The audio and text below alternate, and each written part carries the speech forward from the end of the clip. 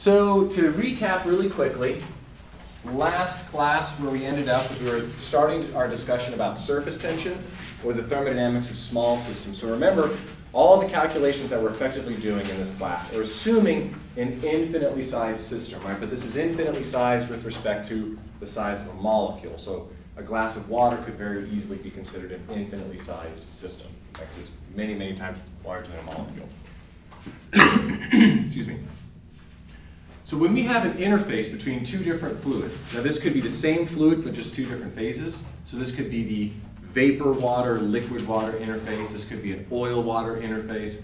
Any interface between two different phases, even a solid liquid interface. There is an energy penalty by having two dissimilar compounds in contact with one another. And this is because right, their, their sort of uh, their attraction repulsion doesn't exactly match up if we think about it in terms of molecules themselves. So if we are trying to push in and get one of the fluids to enter into the second, you can see that as you have a curved interface, right, that requires more energy to accomplish that task. All right, and this concept is known as surface tension. I prefer thinking of this as surface energy, and the units work out exactly the same. So I kind of pre-wrote out some of our material here, because uh, if we can get through the theoretical content, I have a brief uh, demonstration, because surface tension is one of the fun systems that we can actually kind of visualize and see. Chemical engineering oftentimes is referred to as what they call a virtual engineering, meaning that a lot of the calculations and tasks that we perform are really difficult to replicate. It's not like mechanical engineering or electrical or computer science, whereas computer science, you can make a demonstration out of anything because you're just sitting in front of a computer. With chemical engineering, it's really difficult for me to have a continuously operating flowing distillation column to say, hey, look, here's how the distillation column operates. Right, so it's hard to do demonstrations. Surface tension is one of those fun few ones where I can actually do a demonstration. I also have a diffraction one later on in the class when we start talking about um, atomic theory. Okay, so the energy balance on a droplet Right, this is a closed system, and we're assuming that there's no shaft work that's being conducted, which makes sense because it's a teeny little droplet. So the total rate of change of the droplet with respect to time is going to be equal to how much heat I pull in or pull out of the droplet, the expansion of the droplet, and this is typically what we've seen before, the PV work of the droplet expanding and pushing back on the surroundings. And then lastly, we've added in this new term right here that we've neglected previously, which is the effect of surface tension. So if we look at surface tension, or again, I always like to think of it in terms of surface energy, this is the energy per unit area to form that interface. Energy is a force over a distance, right? A newton meter is a joule. Area is obviously just distance squared. So if we cancel things out, the SI units for surface tension are newton per meter. But anyway, it works out exactly the same as if it was a joule per meter squared. That's the same exact dimensionality in terms of the units themselves if you break them into the base units. So what we're going to do is we're going to play around and manipulate this equation and see if we can get these two terms to collapse into one. It's not too difficult to do so. The volume of a droplet or a sphere. Now the reason why droplets are spherical in shape, right, is because that minimizes the surface area to volume ratio. So that'll produce the lowest penalty of surface energy. Any other shape will have more surface area for the same volume.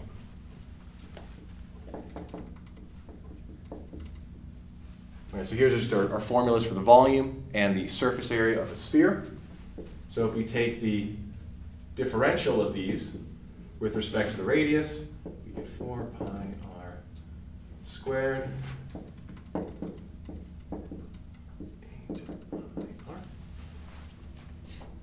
Rearrange the expressions, solve them for dV and dA.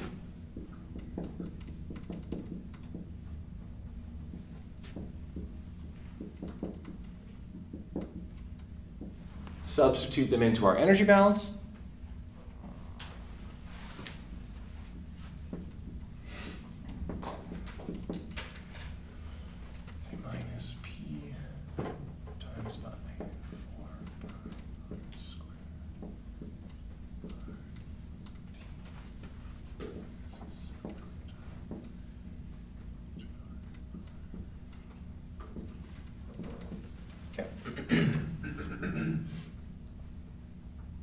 so all I did was substitute differential changes in volume with respect to differential changes in the radius.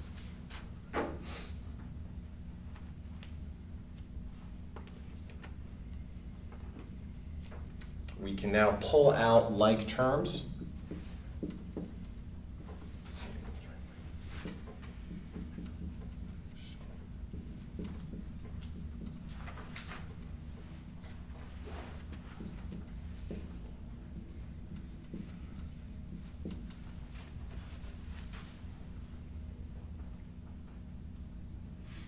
And then there's a similarity here between this 4 pi r squared and this dr, which brings us back into the volume units again.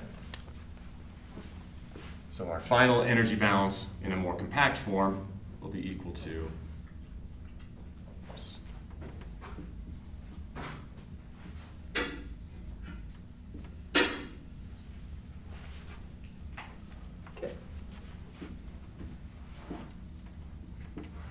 where I've written this as pressure internal, where I P internal is equal to the pressure plus this additional contribution due to the surface tension.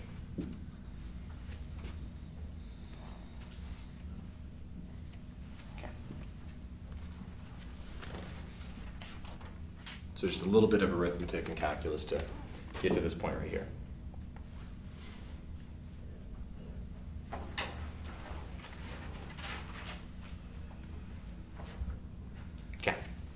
So, what this tells us is that the pressure inside of a small droplet of fluid is always going to be higher than what we call the external or kind of the macroscopic sized pressure. And we have this additional contribution here due to the surface tension. Meaning that if we have a droplet surrounded by another fluid of a different material, the pressure inside has to not only exceed the external pressure, right, like we would expect if we're just blowing up a balloon inside of, you know, well, the atmospheric pressure, right, we're pushing back the atmosphere. But in addition, as I try and grow, I am creating additional interface and I'm pushing back the bulk fluid, which requires work. Meaning that I need to exceed by a significant fraction potentially whatever it normally is to push back. In other words, the fluid B can squeeze in fluid A with effectively a higher force because it can, it's easier to keep it contained. So the pressure inside of a small droplet is higher than the pressure that it would normally experience if it were a macroscopically sized system. So to give you an example, and further also, right, if we take a look at this and we have a radius of infinity, then this contribution basically goes away. Right? The bigger the system it is, the less of a contribution it's going to be.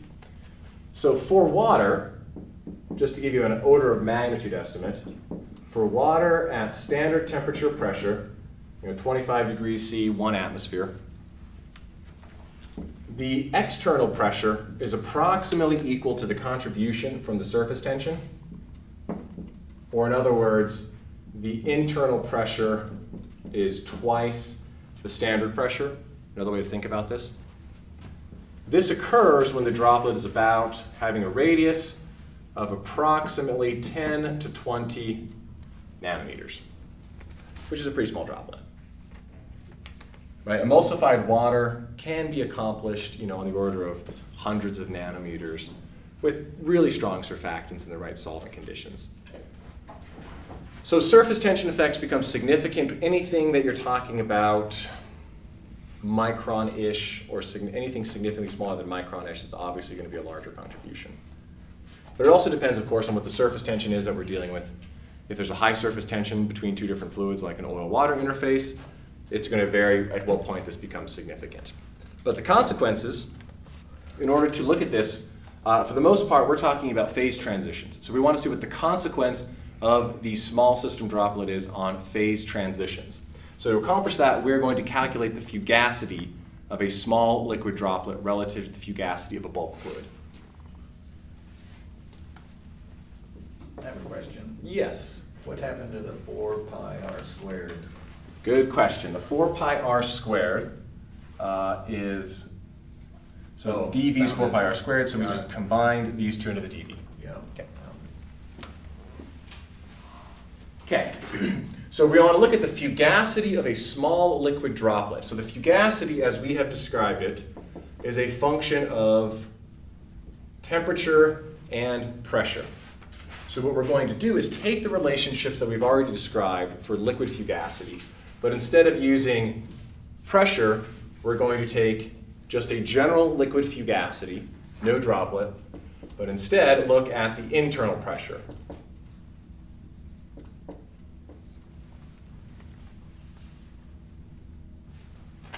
We've just substituted the internal pressure.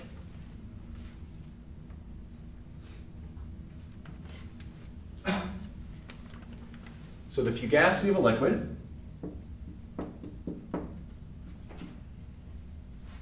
is a function of temperature and pressure.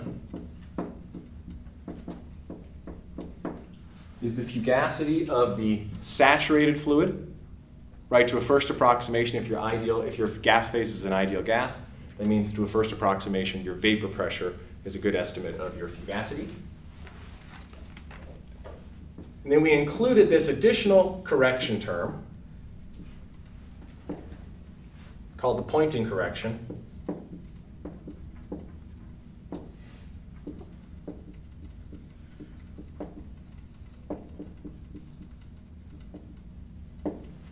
This allows us to understand what the fugacity of the fluid is at a pressure significantly higher or further away from the vapor pressure.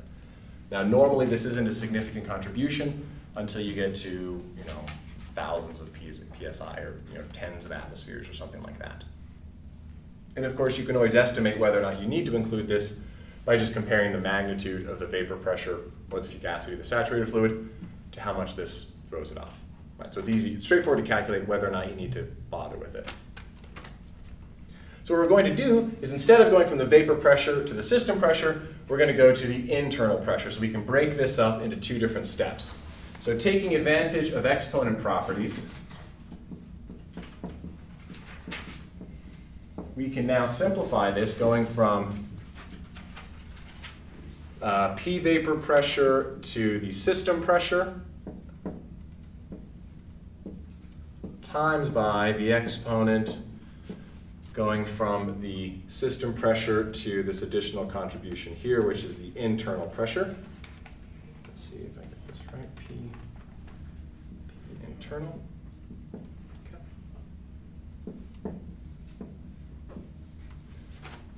So recall, right, exponent properties, if I add things together in an exponent, it's the same thing as timesing the exponents together. So all I'm doing is breaking up this integral into two different steps. One going from the vapor pressure to the system pressure, one going from the system pressure to the internal pressure.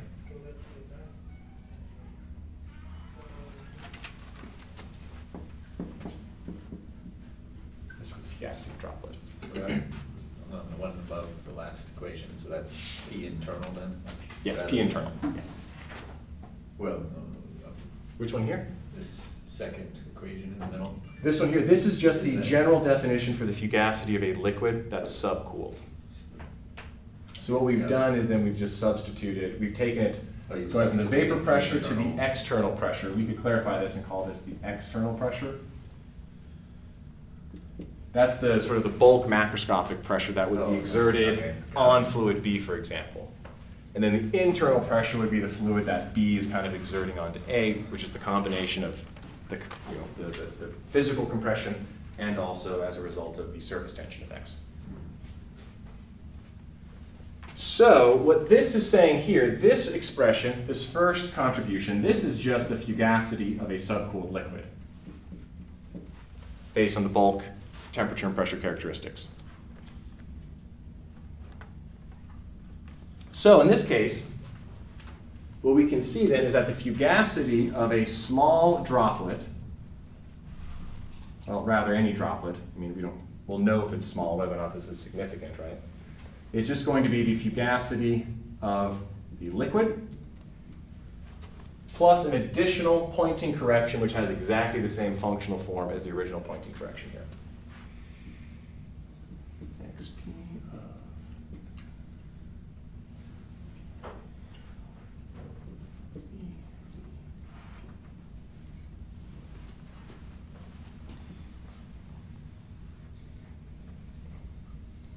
Sorry, it's a little bit crooked there.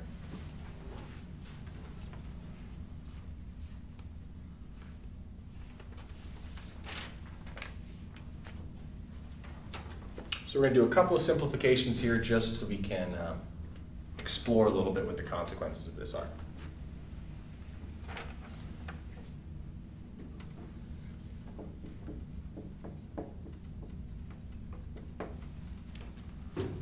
We did a similar approach when we talked about the fugacity of just a bulk liquid. If we assume that the volume is approximately constant over these pressure changes, which for a liquid is probably a pretty reasonable assumption, right? We can just integrate this simple expression here. So in that case, the fugacity of a liquid droplet divided by the fugacity of that bulk liquid itself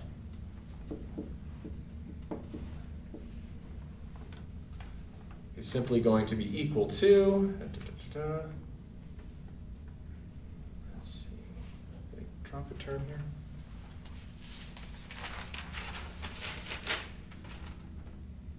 Oh, yes, I did screw up. Sorry, I, did drop a term. We have a 1 over RT included in here.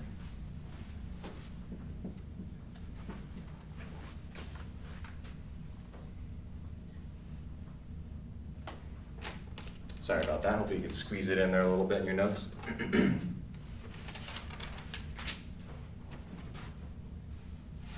okay. So then we can write this as the specific volume of the liquid divided by RT. And then when we integrate just dP, it just becomes P2 minus P1. So in this case, it's going to be the internal pressure minus the external pressure.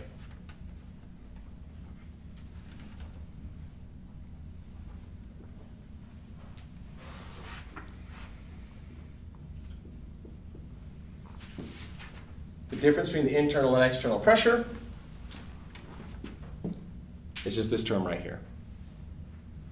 Right, this two, two times the surface tension divided by the radius. so the conclusion here from all this little work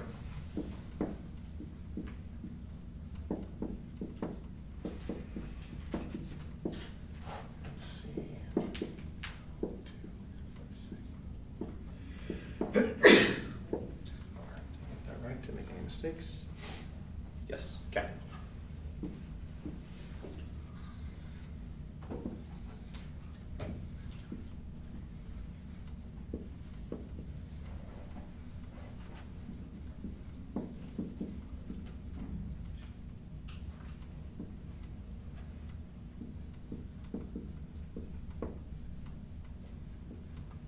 Okay, here is the whiz bang of the whole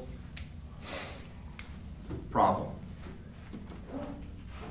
This term, volume, always positive. Two, obviously always positive. Surface tension or surface energy, always positive. RT, always positive, and radius, always positive. This expression here is always going to be a positive number, meaning that the fugacity of a small droplet is always going to be higher than the fugacity of a bulk fluid with the same temperature pressure characteristics. Now the important consequences of this, one, that means that the vapor pressure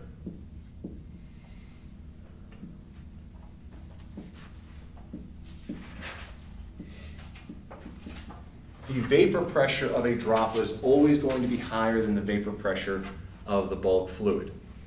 So this becomes very important when you're talking about combustion processes or running an engine. So if you can take gasoline in your car and you can spray it into as small of droplets as humanly possible, not only right, does the gasoline want to evaporate into the gas phase because of the hot you know, engine gases, but the smaller the droplet that you can make it, the easier it is to run away from that fluid and it's going to burn more quickly. And it's going to burn more evenly. Right? So that's one consequence.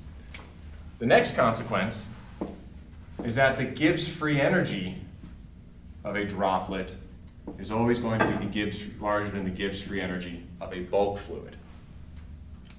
Now this goes back to going to let's see where should I chew up some things. I'll go over and just erase this. Right, this goes back to when we were talking about subcooling and superheating. So when we had our vapor-liquid uh, equilibrium drawn using a cubic equation of state, and we look at a plot of pressure versus volume.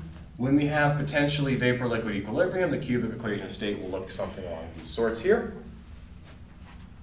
At some pressure, these two areas are going to be equal. That's going to be the vapor pressure at whatever the system temperature is that we drew this isotherm at.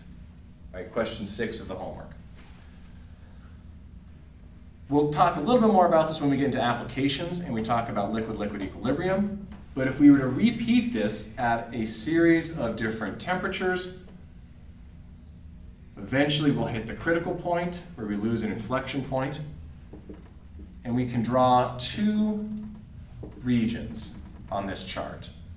The dashed line here is what we call the spinodal. This is the outlined region where the fluid is unstable, right? Due to the second law and the curvature of entropy, this is not allowed, right? You can only have fluids that have an inverse relationship between pressure and volume. So in this region, right, you have a positive slope of a plot of dp dv. That's not allowed by the second law of thermodynamics.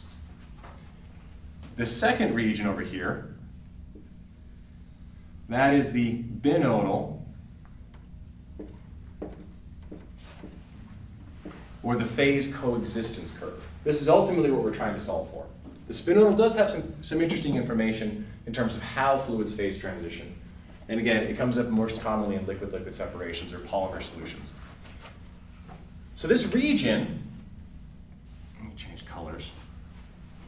This region in between the binodal and spinodal is where a fluid effectively wants to phase transition, but it may not necessarily have the energy to do so. As soon as you change the fluid conditions where it hits the spinodal, it'll basically snap it instantaneously, or as quickly as diffusion can occur, instantaneously change. So, what this consequence here is telling us is that if I try and create a droplet at some bulk pressure, when that droplet first forms, it's significantly smaller, meaning it's going to have a higher Gibbs free energy. Right? Spontaneous processes occur when you go to lower states of Gibbs free energy. Meaning that if I'm trying to boil my liquid, I have to first form a bubble of that vapor inside of a sea of the liquid itself. That takes energy to do so. That's what allows me to go into this region here and be a superheated liquid. Likewise, it allows me as a vapor to go into this region here and be subcooled. Same thing happens with solid-liquid transitions, right, where it doesn't freeze until it finds a nucleation site. So the reasoning behind this is the physical act of forming a bubble takes energy, which means that unless there's a nucleation site, which sort of eases that surface transition, so for example, it is easier to form an interface if there's a surface, right? Because you're cutting away potentially a lot of the dangerous surface tension here. And again, this is the same reason why when you're in chemistry class, presumably your glassware should be very, very clean with no nucleation sites because that's going to affect your chemistry. So if you don't put in boiling chips into your flask when you're doing your chemistry work, you're going to have a superheated system, so when you mix in your chemicals, it's going to violently boil over. Again, like I said, I wouldn't know what that's like because I was not a particularly good chemist. Right, but that is the whole point of boiling chips is to avoid this issue, meaning that if a bubble can form on an interface, it's easier to do so if the surface tension or surface energy between your fluid and the surface is lower than between those two interfaces. Right? It kind of eases the transition. So that's why this talk here on surface tension is kind of fun, because it gives us a lot of intuition about why things happen the way that they do. Any questions? Because you've got a short demonstration, but I think we'll have to, I don't think we'll be able to record it. Um, we'll have to gather around somewhere, and hopefully I can get the demonstration done.